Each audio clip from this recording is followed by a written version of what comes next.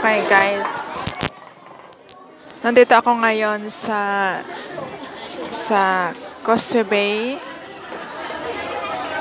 And itong bridge na ito ay papunta po ng Chatter Road, Central Station, and Status Square. So gusto ko lang po ipakita sa inyo dito kung ano po yung life ng mga Filipina, Filipino workers, OFW dito sa Hong Kong kung saan po sila nagsistay every Sunday kung ano po yung ginagawa nila. So, let's go around and I will walk through this bridge at makikita po natin yung life ng OFW dito sa Hong Kong. So, let's go. So, ito po sila ngayon. Tulad po natin mga OFW, ganito po ko yung ang lifestyle at saka yung kung saan sila nagsispend ng time nila. Dito po yung sila kumakain. Yung iba po gumagawa ng kanila mga yung mga kanila mga talent. Ito po yung mga talent nila. Dinidisplay po nila dito. Saka yung iba nagbebenta, natutulog. At yung iba ay naglalaro. Maybe. Ganito po yung kahirap yung buhay natin. Namin na mga OFW. Ito po. Yan po yung iba nagbebenta ng kanilang mga products. As you can see here, this guy is selling, uh, I think he is uh, Pakistani and he is selling his products so mostly to Filipinas. And meron pong gumay gumagawa ng kanilang mga talent. Hindi ko po alam kung ano yung ginagawa nila dito. Mga bag ata ito eh. Ayan. Ayan, ang ganda ng mga bulaklak mo. Handmade po nga ginagawa ng mga Filipina ito.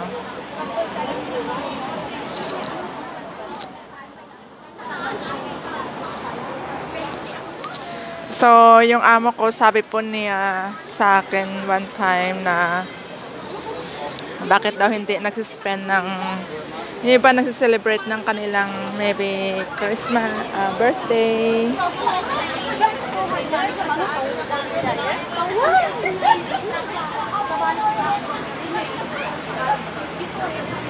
Ang, ay sorry po, nakalimutan ko. Yung amo ko pala, sabi po niya sa akin one time, bakit daw hindi sila, hindi po yung, hindi po nagsispend sa boarding house or mag-rent ng boarding house yung mga workers dito sa Hong Kong para makapag-stay.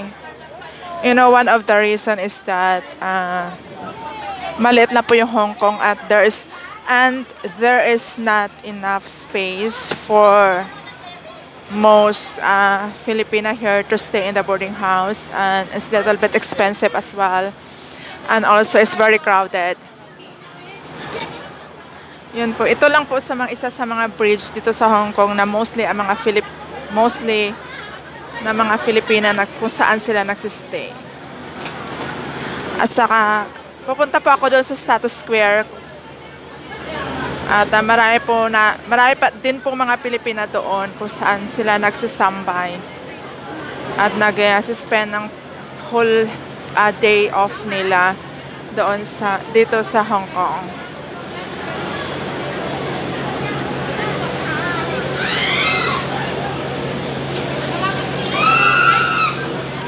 At sa ngayon guys, is malamig po ngayon. Ang degree po ngayon is 13 degree.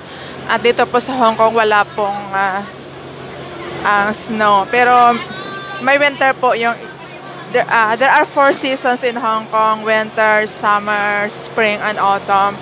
But then dito po ay walang snow. So, we never experience snow unless we will go to the other country like Canada, Russia, or USA, England. So, yung iba po gumagawa ng kanilang mga maliliit na bahay made in carton. Ito si ate gumagawa na kanyang knitting.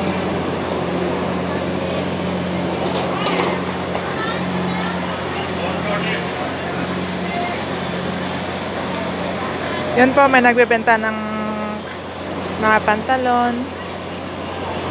Te, magkano po yun, te? 30? 30 lang daw. Patingin. Patingin po. Ay, maliit po yung ano, yung baywang.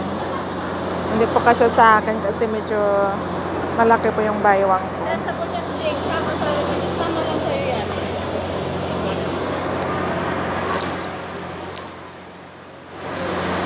Maliit siya. Para po ito sa mga super sexy.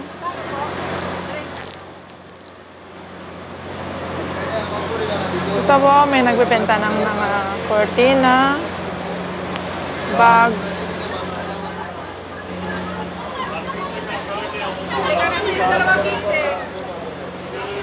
Dalawa kinsi daw.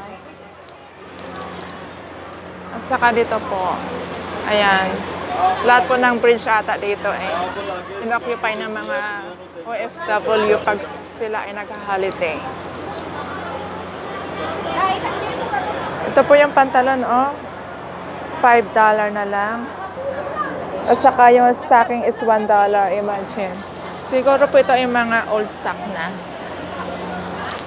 Medyo okay na rin po pag pambahay ko if you like.